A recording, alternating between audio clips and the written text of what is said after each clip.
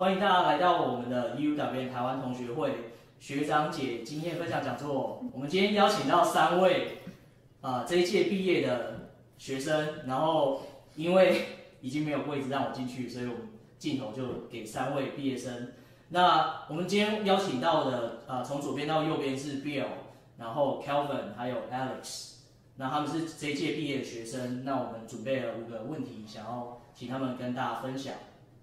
那我们第一个问题要呃跟大家请教是呃在 UWM 分别拿到什么样的学位，然后花了多少时间拿到学位？那我们就从 Bill 开始讲。好，哎、我是拿到硕士学位，然后我是从二零一九年的一月，然后到现在二零二零年的六月，所以大概是花了一年半的时间拿到这个硕士的学位。所以你在 UWM 是就是你算是呃念呃一般的硕士，还是你算是念双联硕士，还是不同的硕士学位？哎、就是中原和 U 导面合作的，所以算是双双联的硕士学位。哦，OK，对，所以所以你们这个就是中原大学也是每一年就是都有双联学位的，就是学生来来到 UWM。哎、基本上每一年都有学生会来这边，嗯就看人人数的不同这样而已。了解，所以那 Kelvin 是念什么学位？我是我是最传统的大学学位啊、呃学士。那我是读国际研究跟日文系双主修，那总共是花了啊四、年的时间啦。那第一年因为我有转系，所以就不算这样子。对，所以你从大一开始就在 UWM 这里念书。对我其实从高中就在美国念书，那直接申请美国的大学读。对了解。那 Alice 呢？我跟 Bill 一样是中原的双联硕士学位，然后是从二零一九年九月到二零二零年的六月，所以那个像 Bill 你念的学位是呃你是什么科系？哎、我是工业系，工业系。然后是我是电子工程，哦你是电子工程的，所以像中原来说的话是主要是这个两个系来来这边呃就是有双联学位的嘛。电应该算是工科跟电电机电子工科跟电机电子。工工科对，就电子学院，对电子学院跟工业电子、电机、资工都可以来。对哦，那这个第一个问题之后，接续的呃的问题是说，像刚刚大家都拿到一个学位，那在学位的期间，可能你们有学到什么，或者是有参加呃像研究生，你们可能有做一些研究计划，或者是呃会做实习的机会。那大大大大学生在这边也很常会有实习啊，或者是啊、呃或者是其他的工作机会。那想请 Bill 要先分享还是 Alex 先分享？就我觉得主要还是看你选的指导教授他是专业是什么，然后像我的话就是他是电力系统的专业，所以主要都是在学跟电力相关，还有什么呃智慧电网那些的。然后参与了什么研究，好像因为只有一年时间，所以主要还是在做自己论文上面的研究。然后我的话就是老师有帮忙，就是给我一个方向是做在智慧电网中的那种呃网络安全。嗯，那那 Bill 在这边的话是有，就是你因为你是跟 Alice 是不同科系，所以对，你有就是比如说课程上当然是不一样，那研究计划的部分，诶、就一样，在这边的话一样是写论文嘛。然后，因为我指导教授的，就是研究方向是有关再制造的一些流程，还有规划，所以我也是针对老师的这方面，然后有接续学长的一篇论文，然后做延续，然后还有写的自己一篇的硕士论文。诶，所以你们算是嗯在台湾就是已经想好你们研究的主题，还是说到这边才跟老师讨论这样子？我是到这边，你算是到这边，因为我在台湾是通讯工程，可是这边有通讯的老师很少。哦，因为你在这边是电机系对不对？还是说是是说它这通讯边算是电子，就电子电机，可是它没有一个没有通讯对，没有通讯，哦，OK，所以我只能换个方向，嗯。就当做多学一些其他的东西。所以 Bill 也是在这边那个，诶、我的话是因为那时候教授我到台湾去，就是中原的活动，所以在那时候就有先讨论过大概会往什么方向进行。哦，对，但还没有很深入讨论，就是简单的说明一下，大概之后的状况是怎么样。了解。对。那想请 Kel- Kelvin 分享一下，像以大学生来说，可能会呃学位期间可能有有你有学到什么，或者是你有机会参加什么样不同的啊、呃活动？呃，我觉得大学就是真的是学到的东西都很广。那因为我自己是读文科，所以其实也没有做到什么实体上面的研究。那我我有一个朋友是做化学的，那他其实呃一直一直在 UWM 都有呃在 lab 做研究，然后实习的一些经验。那我本身是没有，但是就是呃我的主任老师其实有给我们蛮多的机会去做一些比较呃怎么讲文科文科上面里面的一些怎么讲更更深入的探讨。嗯，对，那我主要因为我是学国际研究的，那我是我有做一篇有关呃 globalization 的论文。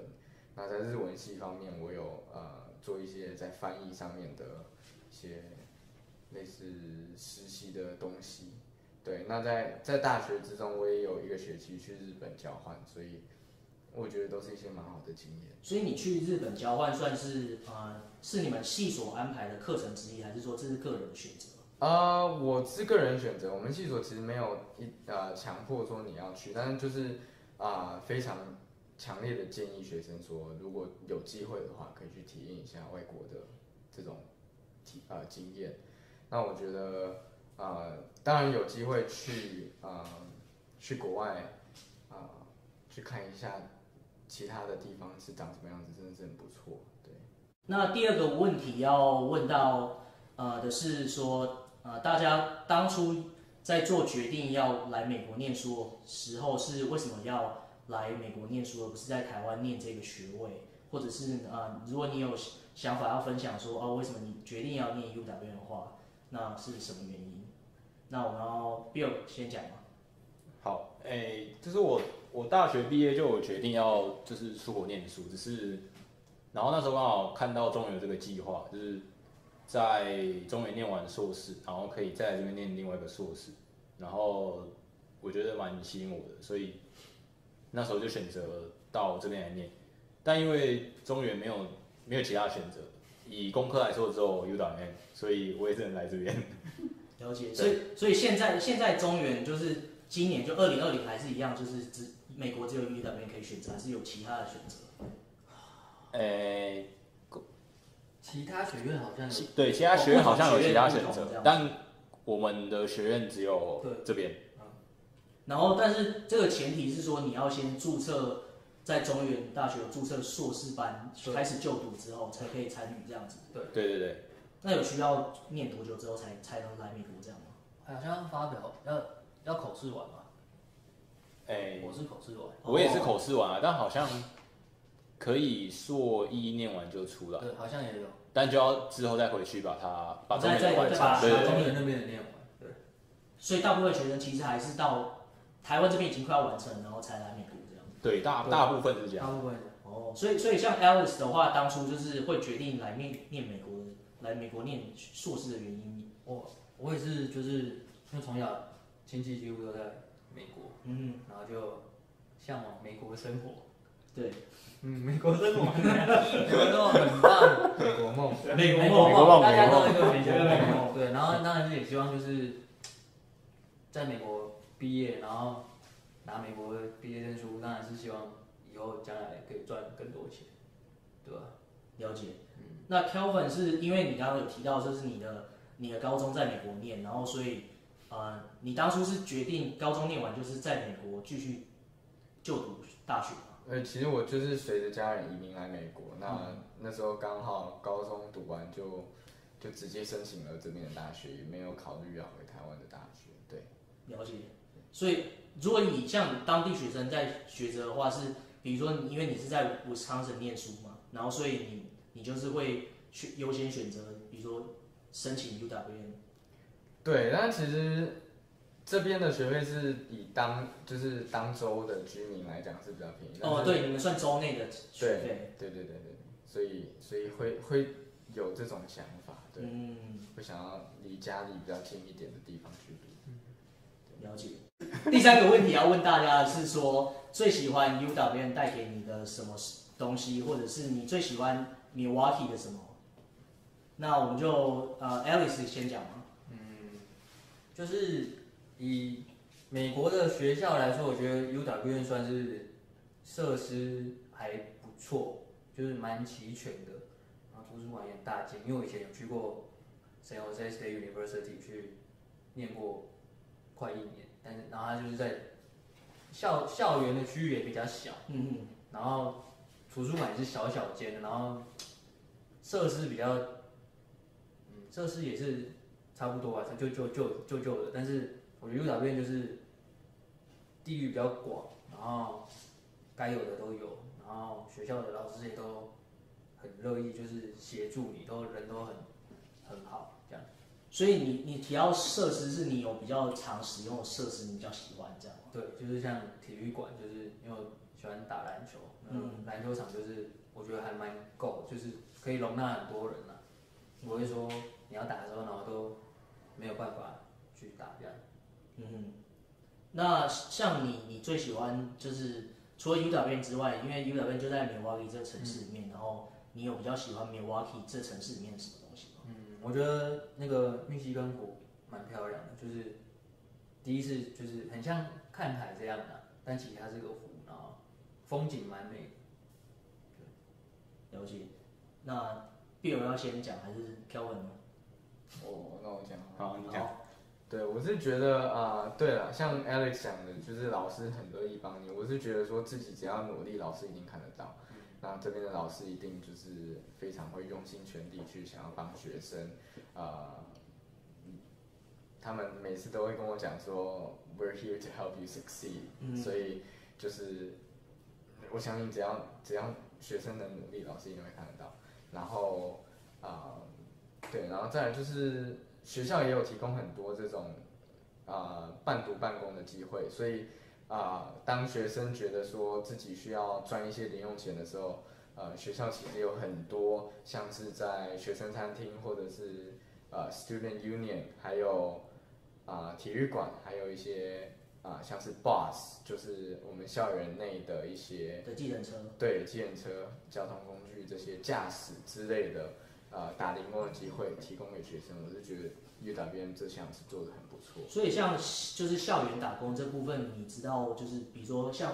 台台湾来的国际学生也可以做这样的工作吗？对我，呃，我听说是只要有 F1 吗？F1 visa 嗯就可以在校园内工作。那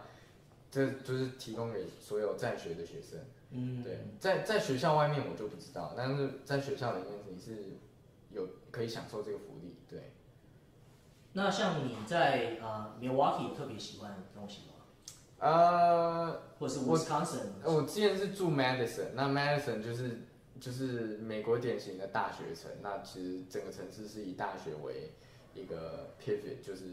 重心。那 Milwaukee 其实就比较像是一个商业型的城市。那虽然规模没有像纽约或者是呃洛杉矶这么大，但是其实该有的都有。那 Milwaukee 我觉得很棒的是有有大联盟跟呃 NBA 的球队，那所以学生在课余的时候可以去可以去看球，然后冬天也有一些呃类似滑冰啊，还有一些比较冬季台湾遇不到的活动，嗯嗯对，那学生们可以去体验这样子。嗯，了解。那 Bill 你最喜欢 UW 的什么东西？诶、就像刚刚 刚刚 Alex 提到的体育馆，我觉得体育馆，因为那个篮球场是室内的、啊，一般以前在台湾就是很少有机会打到室内的球场，所以我觉得这一点来说算是蛮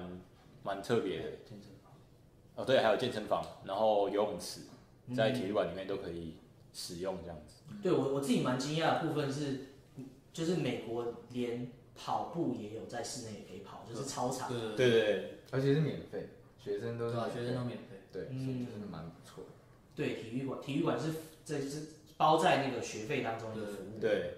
对，体育馆不错。然后我觉得不错的也是还有我们的宿舍啊，因为宿舍来说的话，就是蛮安全，然后到学校也蛮方便的。然后价格来说，跟其他学校比起来，真的是不算太贵。所以我觉得宿舍在 U N 这一块也算做的提供给学生蛮好的一个地方。呃宿舍，然后门禁没有很严，因为像我们现在还可以在这边拍影片。对，没没有没没有门禁，没有门禁没有门禁啊，你要三四点回来，三四点喝酒回来，对可以，有学生证就好。有证就好。那你你在就是 Milwaukee，你有特别喜欢的呃事情吗？或者是东西？诶、米 Milwaukee 的话，我觉得来 Milwaukee 就是一定要吃就是那个市场的龙虾，哦对 o w e Market，对 Power Market 的龙虾，然后哦啤酒也可以啊，但是我比较不太懂哪里比较特别。对，然后刚刚 Kevin 有提到，就是有 NBA 跟大联盟，然后因为 NBA 的话，学校这边都有提供一些，就是有学生票，然后算是一个很便宜的价钱就可以看到一场 NBA，所以我觉得这是你要不要分享一下到底如果用学生票看常规赛还有季后赛大概多少钱？哎、用学生票看常看一般例行赛的话，一楼是大概四十块美金哦，到六十块，然后二楼是三十五块，是没有二楼十25十五块，十五块到二十五块之间。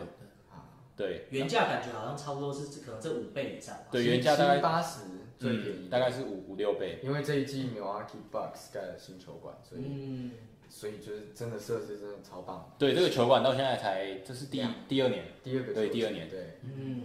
对我上一次也去看了季后赛，然后我坐在那个应该算是一楼的位置，嘿，然后就才花了六十五块而已。对，季后赛是六十六十到九十，我印象中一楼。嗯，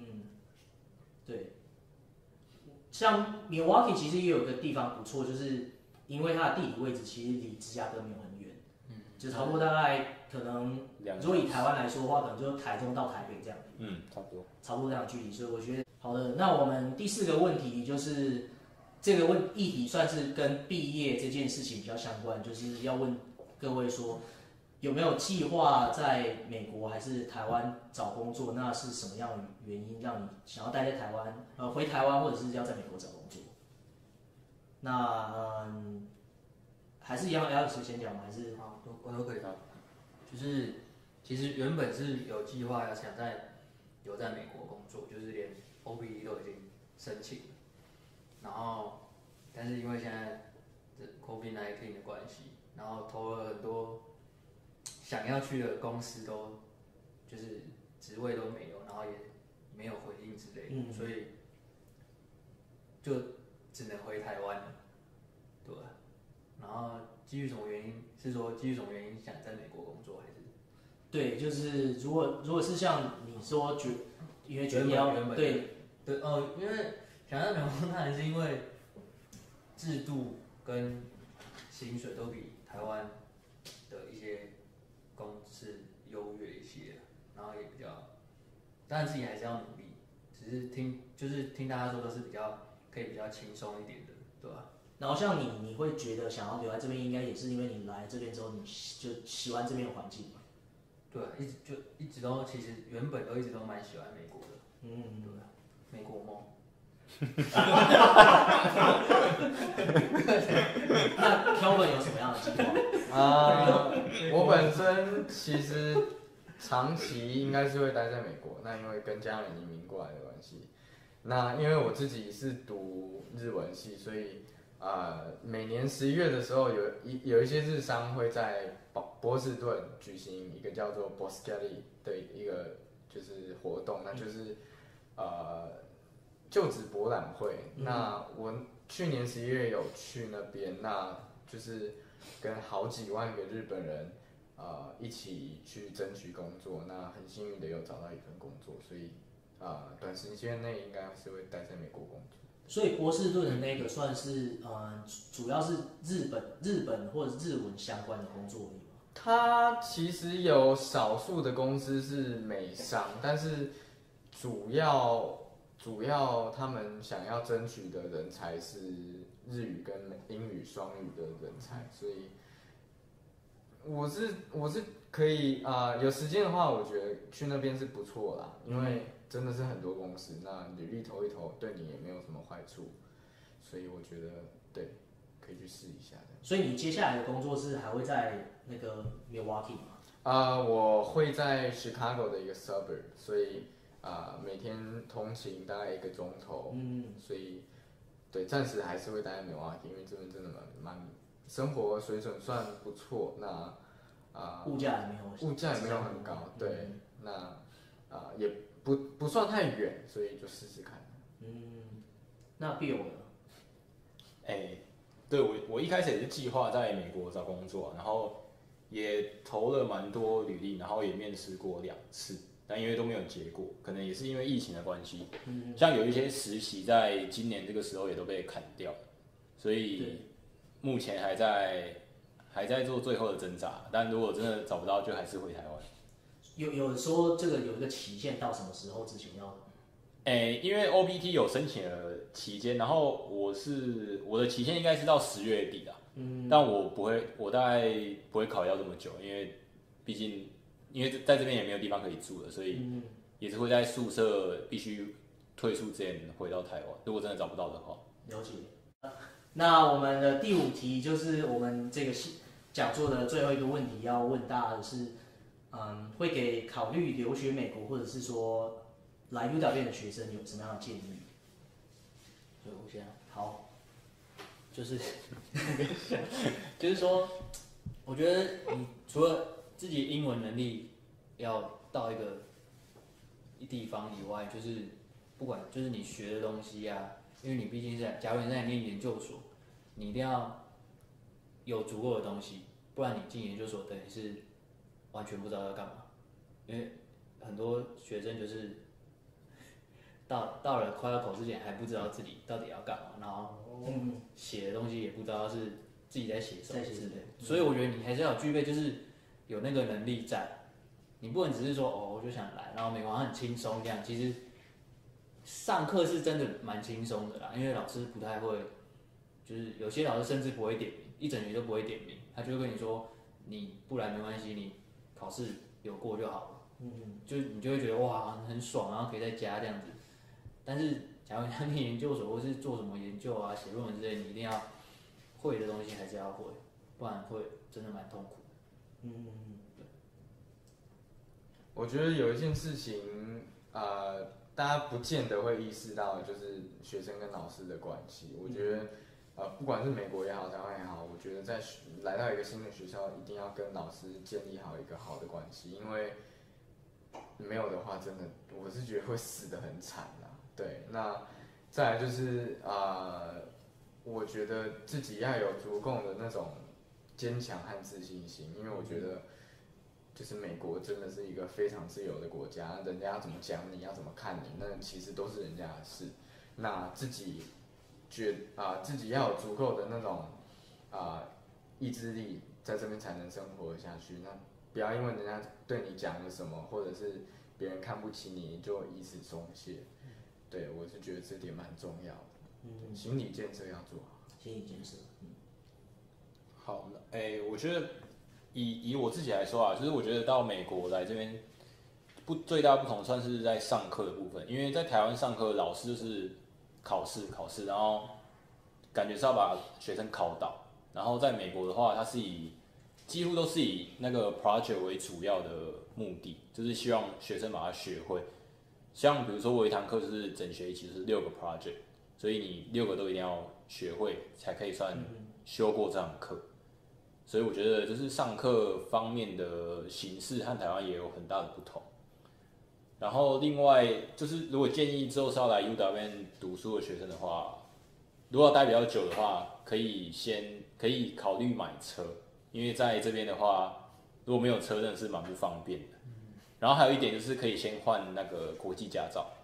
因为到就是到 Milwaukee 这边，我们可以直接转成美国的驾照，然后这在之后也很方便啊，因为拿那张驾照出去，